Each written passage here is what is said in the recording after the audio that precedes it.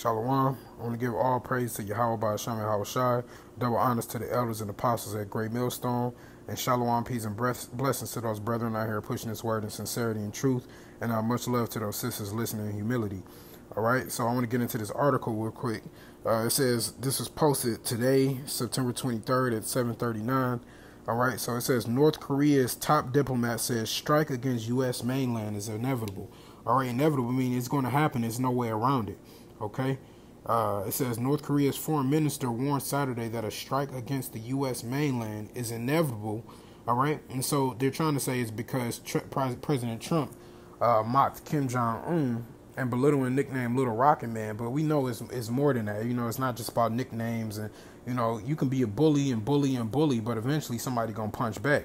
So you can keep talking your mess all you want to, you know, but we all know it's the power of the Heavenly Father that's really conducting this orchestra, all right? And it's, it's about to go down beautifully, just like his plans had, all right? So this is the North Korea foreign minister right here, uh, and his name is Ri Yong Ho, and he says, through a, through such a prolonged and arduous struggle, now we are finally only a few steps away from the final gate of completion of Slovakia the final gate of completion of the state nuclear force. All right. So they're only a few steps away, and it's ironic because uh, that's that's that's that's the Lord speaking, right? Real talk. You're only a few steps away from his final gate of completion of the state of nuclear force. All right, of coming back in his full power. Okay, so they can sit up and, and think they're really doing something, but uh, America's got another thing coming to them. Okay, these countries ain't playing no more. We already know if you heard about the nuclear. Uh, nuclear deal going on, you know, and how Iran is basically pulling out of the nuclear deal because Tehran, like, I guess they fired a missile, and so President Trump, of course, had a problem with that and all this kind of stuff. That's the thing about America.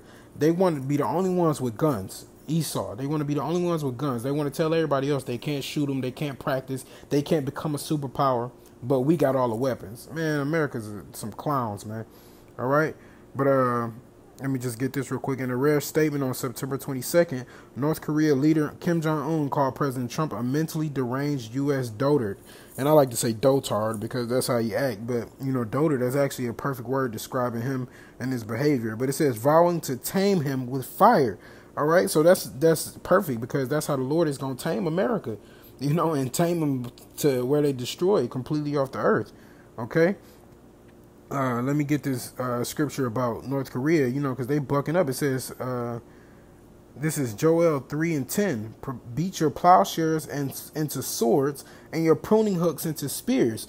All right, so equipment that's used for fishing, gardening, things like that, you know, they, they, they putting all of their power into their nuclear might, into their war might. All right, it says, let the weak say I am strong. So these, these smaller countries that, you know, America think is not a, not a big deal. There's not a big problem, but they're becoming problems. All right, they're becoming problems, and there's, and there's nothing that America can do about it. You know, they're trying to uh, fight and fight and fight, but there's nothing that America can do about it. Okay, and I actually I, I read an article earlier that was talking about. Uh, I couldn't read into it because you had to get a subscription for it, but it was talking about how America uh, going war with North Korea would be very costly. All right, it's gonna be a very costly war, and World War Three is gonna be very costly. But at that, you know, this, this money thing is, you know, is almost a wrap for that anyway too. So, you know, with that, with that said, I'm gonna say shalom, all praise to Yahweh Hashem Yahushai, double honors to the elders and apostles a Great Millstone, and shalom, peace and blessings to those brethren out here listening in sincerity and truth. Keep pushing, brethren. We almost out of here, and shalom, much love to those sisters listening in humility. Shalom.